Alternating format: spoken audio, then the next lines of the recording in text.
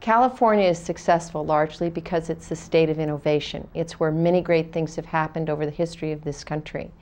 To be great again, California needs to make sure that every single kid is prepared to be part of an innovative workforce for the technologies of the future that are going to define our success in challenges such as the environment, healthcare, energy, and all the other aspects of modern life that are driven by kids being able to grow into careers that allow them to think creatively and with innovation in their lexicon.